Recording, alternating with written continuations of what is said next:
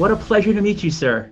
I, uh, I'm a huge fan, as as you, I'm sure you hear all the time. Um, I, I saw your one man show of The Tempest back in the '90s, which is one of my favorite performances ever. Really? Yes. Well, thank you very much. That's a bit of a rarity, that performance. Yes, I, I, I really thoroughly enjoyed it. I still remember it very well. Good. I'm delighted. Thank you. so, uh, Picard season two, um, themed around the road not taken. Um, why is it important for Jean Luc to explore the road not taken at this stage in his life? Because he's still alive and his life is continuing. And he sees that he has been, in a sense, hiding from certain aspects of his nature, his personality, his ambitions, his wants. And he's now trying to make adjustments to them. And we think of Jean Luc as being someone who is always helpful to people. But now there are other elements of that helpfulness caring, perhaps even loving.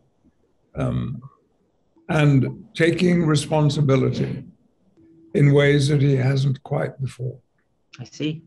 Um, and Q is back as well. I've always wondered what is it about Picard that keeps Q coming back to torment him? Hasn't an immortal being got something better to do?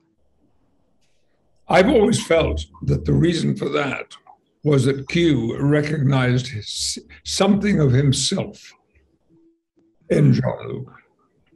And he admired that something else. So now, and the, the scenes are in season two, you will see them. Um, there are changes in Q's nature. He's not the Q that we knew from the days of, uh, of uh, Encounter at Farpoint. Mm. And one final question, if I may. Looking back, what does Star Trek mean to you now? Well, I'm not looking back because um, on Monday morning, uh, my alarm clock will go off at half past four, and I will get ready to travel to these sound stages where we're filming, and I will be Jean Luc Picard one more time. Wonderful. Wonderful. Listen, uh, sir, this has been a great honor. Um, I am a lifelong fan. Um, I and I've seen the first three episodes of season two, and I think they're spectacular. Um, you have done yourself.